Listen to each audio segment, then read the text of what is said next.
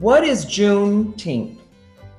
On June 19, 1865, about two months after the Confederate General Robert E. Lee surrendered at Appomattox, Virginia, Union General Gordon Granger arrived in Galveston, Texas to inform enslaved African Americans of their freedom and that the Civil War had ended.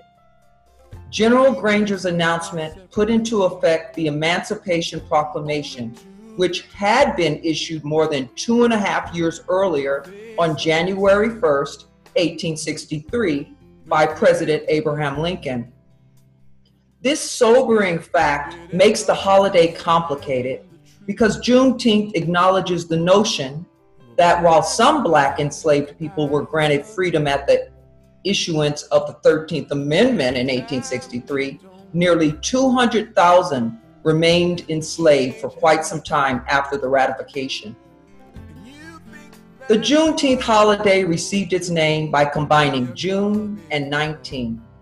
The day is also sometimes called Juneteenth Independence Day, Freedom Day, or Emancipation Day, and commemorates the end of slavery in the United States and has been celebrated by African Americans since the late 1800s.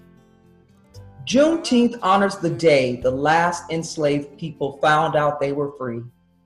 By choosing to celebrate the last place in the South that freedom touched, which was Galveston, Texas, we remember the shining promise of emancipation, along with the bloody path America took by delaying it and deferring fulfillment of those simple, unanticipated words in General Granger's original order number three, which was this involves an absolute equality of personal rights and rights of property between former masters and slaves. These are words that establish equality for all and rights that, in America at least, we name and defend. But in recent years, and particularly following nationwide protests over police brutality and the deaths of George Floyd, Breonna Taylor, and Ahmaud Arbery, and other African Americans this year. There is a renewed interest in the day that celebrates freedom. George Floyd, a 46 year old African American man, died while he was pinned to the ground by a police officer.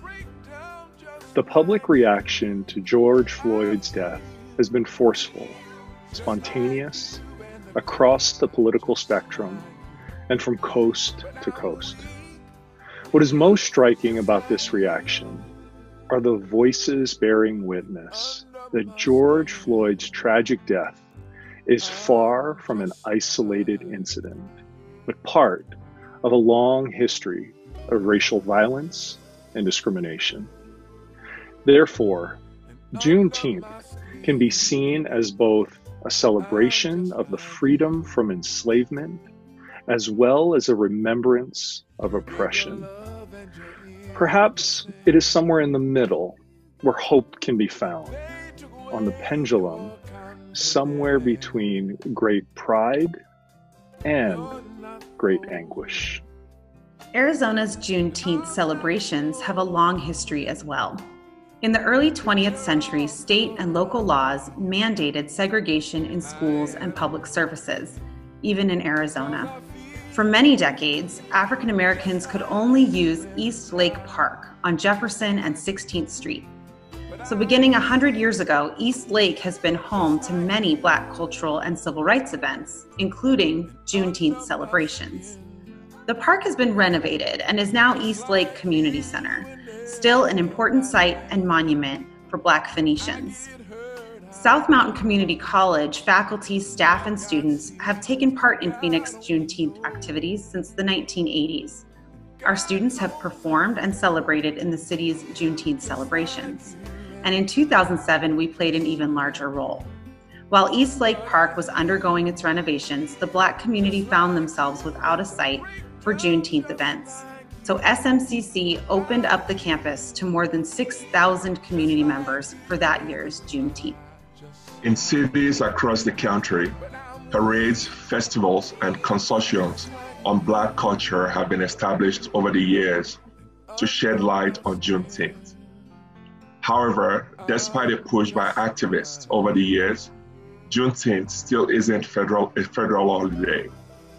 On the other hand, we have seen and or heard in recent weeks corporate America's views on Juneteenth change, using the day for celebration, education, and connection. For example, Nike's CEO told workers they would get Juneteenth off starting this year as a way to celebrate Black culture and history, using this time to educate themselves and challenge their perspectives. NFL Commissioner Roger Goodell, who earlier this month said that the league was wrong to not listen to football players who have been protesting police brutality since 2016, wrote in a note last Friday that its offices would close today to recognize Juneteenth as a holiday. In the memo, Goodell writes The power of this historical feat in our country's blemished history is felt each year.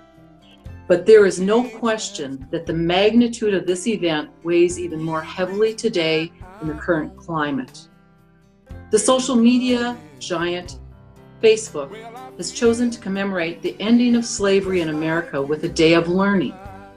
A Facebook spokesperson said the company will cancel all meetings and instead use this day to engage in conversation about the history, experiences, and issues that Black Americans still face in the United States of America. We acknowledge in the 155 years after the emancipation finally reached slaves in Galveston, Texas, the nation is still struggling with the issues of systemic racism and injustice. It is true that we have made enormous progress that we can and should be proud of. But we need to hear what George Floyd's day, death on Memorial Day said, and our reactions are saying. They are saying that this nation must undergo systemic changes to see justice embodied in our society at all levels. They are saying that to be just in all matters. They are saying honor Black lives as much as any other. They are saying not one more name added to this list of deaths that did not get just or due process. They are saying Black Americans are supposed to be able to walk free, jog, play, sit, sleep, breathe, and eat. They are saying Black history is American history, so make it part of the whole story. They are saying enough is enough. It is a long and painful history, which is, it makes it harder to hear, and a dark and confusing time, which makes it harder to see how to move forward. But as SMCC family, we owe it to our community, we owe it to George Floyd to join together and to bring light that can illuminate the way ahead. SMCC celebrates Juneteenth.